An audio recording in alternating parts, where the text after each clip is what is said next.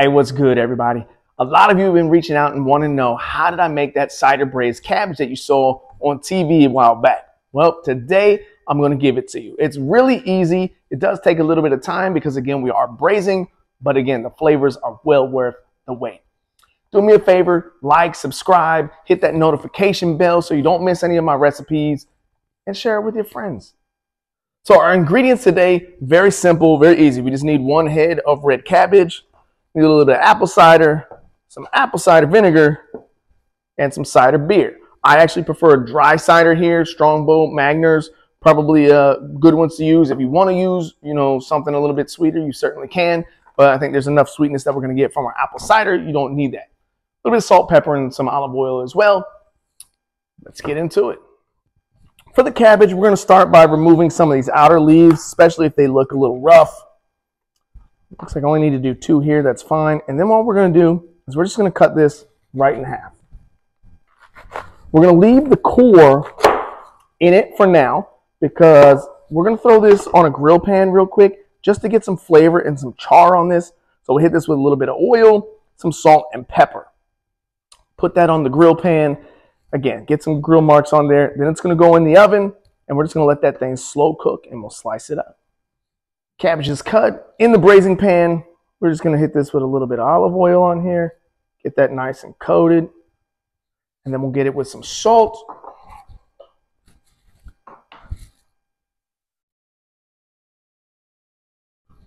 Just enough salt on here.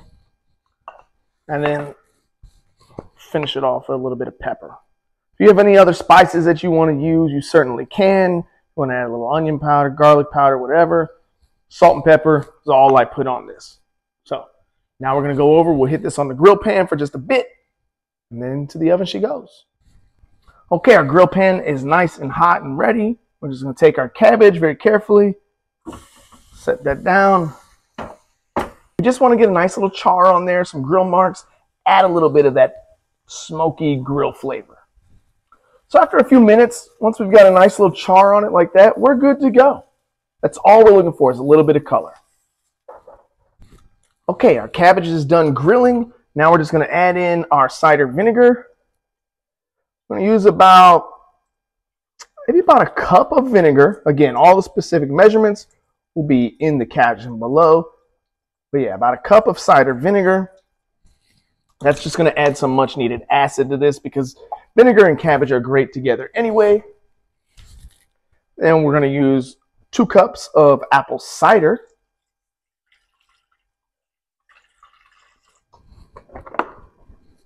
And then we'll finish that off with two 12 ounce bottles of our cider beer. We'll cover this thing with foil and then it's going to go into the oven until the cabbage is nice and soft and tender. We still want to have a little bit of a bite, but again, mostly very tender. All right, our cabbage has been in the oven now for three hours at 275. It's time to pull it out, cut it up. And the only thing left to do is taste test. It's gonna be tender, juicy, and just delicious. Okay, to cut this, all we wanna do, we're gonna go right down the middle like this. Oh, look at that. I can tell just from cutting it, there's still some, some texture there. It's still firm. It's not mush, but it's nice and tender. And then all we're gonna do is just cut right down like this. Look how easily that's going through. Guys, this is going to be fantastic. Remember to check for seasoning. I mean, this was a big head. It probably needs a little bit more salt and pepper.